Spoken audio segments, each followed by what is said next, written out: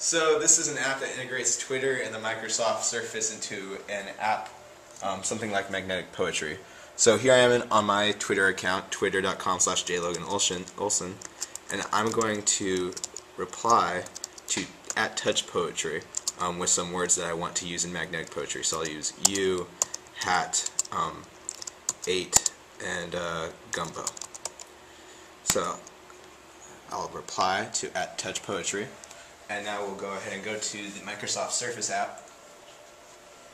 And as you can see, there's been previous words that we've actually uh, sent to the Twitter feed. So let's see what we got here. Here's Gumbo. Um, what else did I have? Cat, uh, dance, butterscotches from earlier, I, hat. Uh, so let's go with uh, cat ate Thanksgiving. So cat ate Thanksgiving. You can see I can circle one um, vertically. So cat ate Thanksgiving uh, or I can go horizontally. Um, let's go with hat gumbo. That Joe hat gumbo.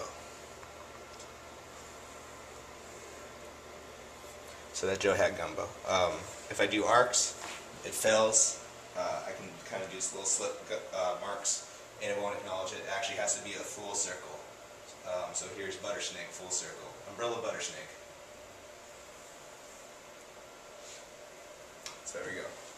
And they all uh, are the content of Touch Poetry. So if we refresh, refresh the page, Umbrella Buttersnake, that Joe Hat Gumbo, uh, Cat Ate Thanksgiving, uh, and the idea is, you know, to create a sort of emergent, uh, modular magnetic poetry that integrates two sort of hot technologies, Twitter and multi-touch, and sort of a fun one-day project.